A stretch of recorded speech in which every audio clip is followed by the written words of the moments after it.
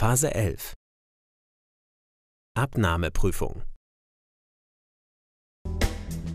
Im unteren Teil der Tür am Dampfaustrittsgitter kann ein eleganter praktischer Duftspender angebracht werden.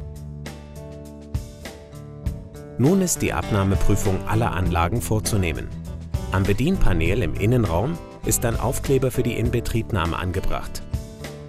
Den Aufkleber abziehen und genauso vorgehen, wie es Ihnen hier vorgeführt wird.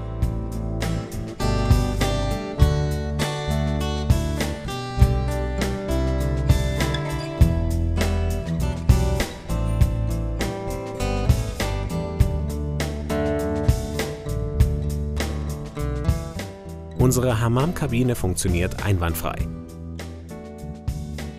Nun muss die Funktionstüchtigkeit der Deckenleuchte mit LED-Farblichttherapie geprüft werden.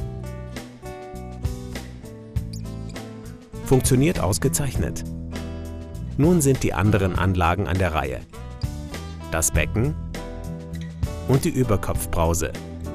Alles ist betriebsbereit. Unser Kunde kann sich nun Wohlbefinden und Entspannung gönnen und unsere Techniker sind zufrieden, eine erstklassige Hammam-Kabine der Marke FEGB problemlos und professionell installiert zu haben.